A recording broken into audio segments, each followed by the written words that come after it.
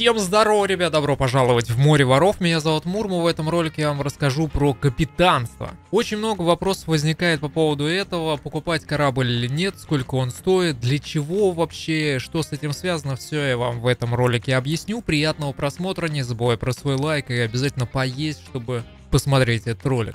С кораблем получаем статус из простого корабля в личный корабль. И давайте рассмотрим покупку этого корабля. Чтобы купить свой корабль, нам нужно перейти в какой-либо режим, например, приключения, либо легенда острова обезьян. Это не имеет значения, это все одни и те же сервера. Заходим в мои корабли и вот здесь вот снизу купить корабль, либо нажать цифру 1. И нас приветствуют вот такие суммы. Получается шлюп 250 тысяч, бригантина 375 и галеон 500 тысяч. То есть на шлюпе мы плаваем вдвоем максимально максимально на бриге втроем и на галеоне вчетвером, ну, максимальное место на корабле.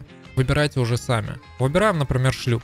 И нам предстоит как-то назвать свой корабль. Самое важное, что при этом нужно учесть, вот посмотрите вот на эту табличку, здесь максимально 20 символов, не может содержать чисел, не может начинаться или заканчиваться пробелом, то есть в середине можно поставить, не может содержать некоторые специальные символы. Ну там скобочки какие-нибудь, что-нибудь такое нельзя ставить. Вопросы возникали, можно ли назвать русскими буквами. По-русски можно назвать, у меня, например, корабль называется «Мокрая жемчужина», можно по-английски как-нибудь. Ну и давайте попробуем, там, пускай будет «Рубероид» отправить.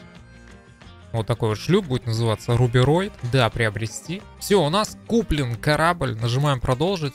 И можем мы на нем отправиться в плавание. Но перед этим хочу вам сказать то, что вы когда начинаете свой путь, и вы на нем уже до этого плавали, вы можете его здесь восстановить.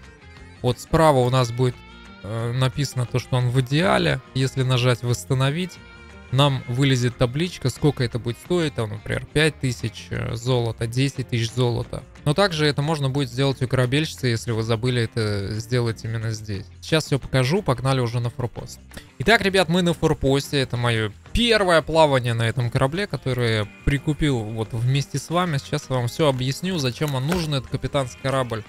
Поможет ли он вам? Ну, вообще а я посоветую, конечно же, купить капитанский корабль. Сейчас сами поймете почему. Итак, какие бонусы у нас есть? Когда мы купили корабль, нам нужно на него запрыгнуть, и Верховный Пират начнет нам там все рассказывать, что это такое, вот он появляется, здравствуйте всем, это капитанский корабль, и сейчас у нас появится наше название на корабле. Вот он жахает, и вот оно, Рубероид.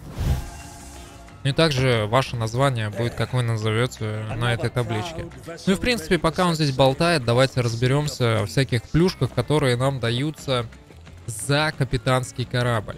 Мы можем на него приобрести доски, ядра, мясо, бомбицы, зажигалки, фрукты, мясо, приманка для рыбы. Где же это все покупать? Это у нас есть торговый союз на каждом форпосте. Подходим к торговому союзу, посмотреть предложение ресурса, ресурсы и грузы вот сюда вот. И здесь мы уже выбираем. То есть можем купить ящик с ядрами, можем купить ящик с фруктами, там будут только бананы, не советую его покупать. Ящик для хранения, в который мы можем облутать весь форпост и потом уже отправиться куда-то на путешествие. Можно купить ящик досок, это будет 50 досок. Кстати, ядер тоже 50. И вот здесь вот ящик с наживкой, если вы любите рыбалку, нравится вам рыбалка, можете взять там личинки, черви и так далее.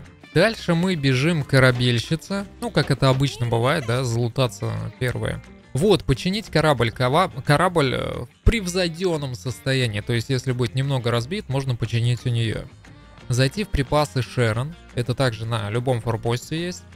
И здесь мы можем купить немножечко досок, ядра, бомбицы, зажигалки, еда и мясо. Ну и здесь еще, конечно, запасы наживки. Это все покупается один раз, но если мы приплывем, например, на другой форпост, мы уже сможем на нем взять еще. Также на капитанском корабле есть э, различные задания. То есть, если вы любите златодержцев, поставили эмиссарство златов, взяли задания, они здесь по разной стоимости, даже есть в дьявольской глотке, и выполняем златодержцев. Можно купить там хоть штук 50, и вот вы плаваете и выполняете. Также торговый союз, орден душ, наемники и сокровища Афины. Можете все посмотреть, то, что интересно, себе приобрести и выполнять. Все эти задания будут вот здесь вот лежать они прям стопочками. Ну, здесь посмотреть путешествия, их добавить, убрать можно, всякое такое. И просто, чтобы потом выполнить это задание, предложить задание, путешествие капитана, и выбираем задание, которое нам нужно. И начнем выполнять.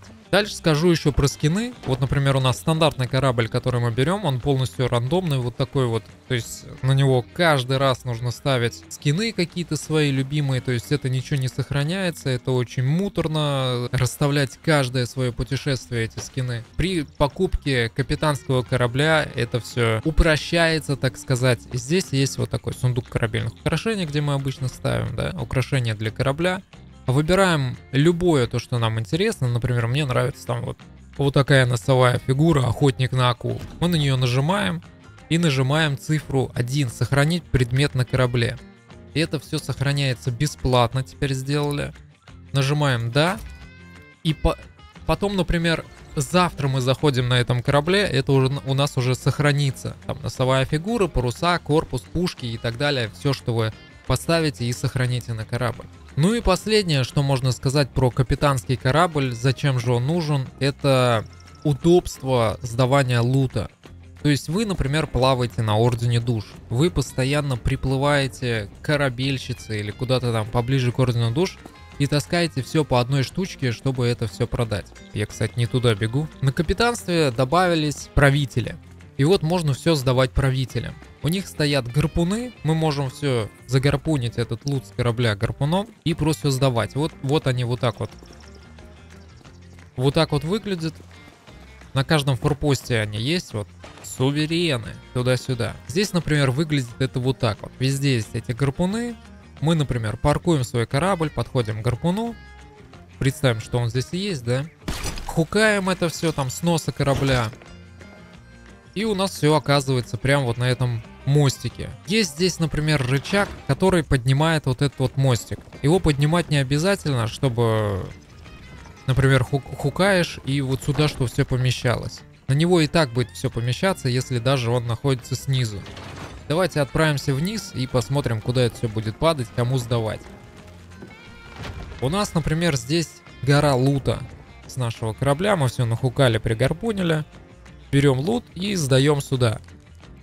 Это все идет в репутацию, это все идет в золото, все так же, как мы сдавали, только через вот этих вот суверенов. С вас никто ничего лишнего не снимет, ей можно сдавать еще рыбу. Пример также, если у вас много-много лута, именно черепов, вы катаете на Ордене Душ, и, возможно, есть какие-то, например, сундуки. Также можно сюда сундуки сдавать, это будет считаться как златодержец. То есть все автоматически сортируется, учитывается, вы за это вообще не паритесь, просто есть сдаете и все. Ну и в принципе все, что про капитанство можно сказать, я сказал. Думаю, капитанский корабль очень полезен, накопить на него недолго, Стоят они не особо дорого. Ну, в начале пути, конечно, покажется сумма такая, весомая. Но если немного поиграть, э, можно легко накопить и на галеоны, на бригантину, и на шлюп. Вот такой ролик получился, ребят. Надеюсь, информативный. Больше мне нечего сказать про капитанство. Здесь все легко и просто. Обязательно покупайте свои корабли. Пишите в комментах, как назвали свой корабль. Очень интересно почитать. Не забывайте про Лукас, если я вам помог. Ну и также предлагайте свои идеи, которые хотели бы видеть на канале, в видосе. Какие-то, может, вопросы по игре есть. Что вас будет интересовать больше. На связи, как всегда, Мурма. Буду ждать вас на новых роликах. Спасибо за лайк и просмотр и пока-пока.